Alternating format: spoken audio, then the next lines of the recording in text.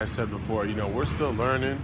We're still trying to improve and hit our stride for in March. Obviously, we, our goals are still attainable. You know, to win the league.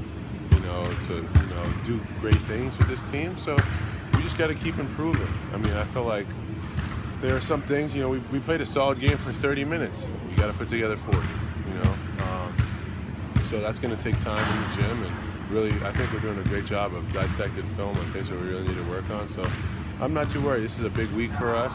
Uh, we're just gonna have to show people that we're real.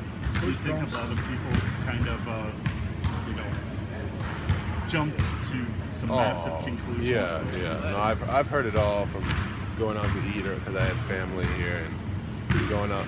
So after going out to eat after the game and what they're saying and you know it's just it, it's fine. You know what I'm saying?